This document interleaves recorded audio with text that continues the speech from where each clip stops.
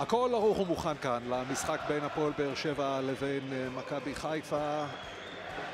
שתי אה, קבוצות אה, שלקחו לא מעט תארים בשנים האחרונות. בעונה שעברה הפרידו 18 נקודות ביניהן. היום באר שבע ומכבי חיפה שוות במספר הנקודות. ועכשיו מבוקה מקשיט את זה, והכדור הולך כמעט פנימה. יש לה עכשיו את חנן ממן באמצע, מוצא, מוצא טוב מאוד את האסלבנק. האסלבנק הולך לצד הרחוק, הנה ההזדמנות של באר שבע, והכדור החוצה! ממן מרים את הראש, יש לו האסלבנק קרוב, יש לו הזדמנות לבעוט לשער, הוא מכניס את זה, והכדור עוד פעם הלך החוצה! מנצ'ק, וייסמן, או-אה, צהוב. צהוב שני. צהוב שני לטהה, וטהה מורחק. שאגה גדולה מהיציעים של אוהדי מכבי חיפה.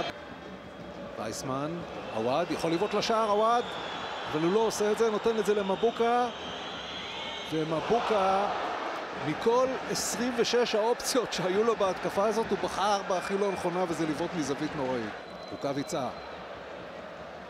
מליקסון מצליח לדחוף את עווד. והכדור נכנס פנימה! 1-0 למכבי חיפה, לביא!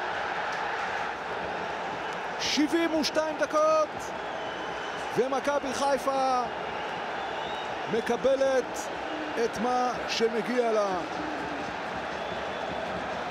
סבא נכנס, אלו מגיע, עוד הרמה טובה של אלו, והכדור עובר גבוה אבל עדיין לא יוצא. מליקסון יכול להרים את זה עוד פעם, במקום זה הוא מכניס את זה לסבא! וסבא בועט החוצה. האם מכבי חיפה תעשה עכשיו את השני? הכדור הולך אל העמוד! באר שבע כבר עם הוגו חלוץ, חמד מגן ימני, כבר לא בכיוון. אזולאי, הדרך אל השער פתוחה, ואזולאי בועט אל העמוד שוב!